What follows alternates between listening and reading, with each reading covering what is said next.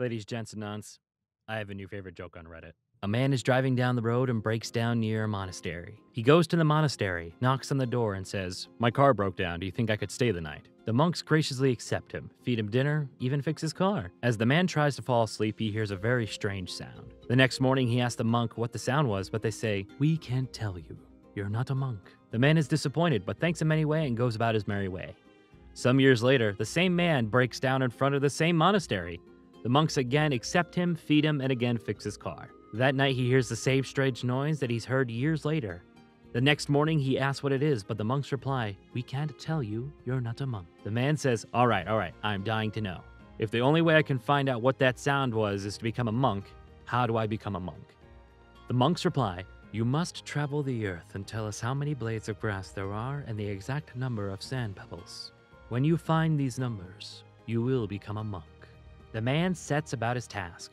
Some 54 years later, he returns and knocks on the doors of the monastery. He says, I have traveled the earth and found what you have asked for. There are 145,236,284,232 blades of grass, and 231 quadrillion, 281 trillion, 219 billion, 999 million, 129,382 sand pebbles on the earth. The monks reply, Congratulations, you are now a monk. We shall show you the way to the sound. The monks lead the man to a wooden door where the head monk says, The sound is right behind that door.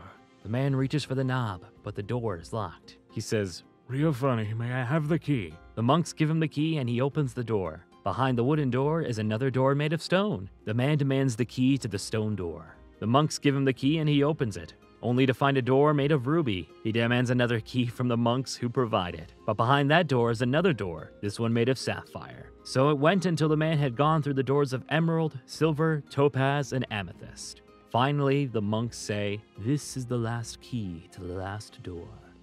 The man is relieved to know that he has finally reached to the end.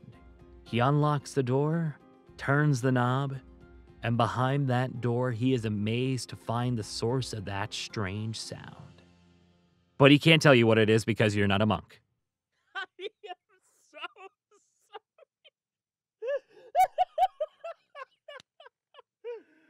oh my god, I love that joke.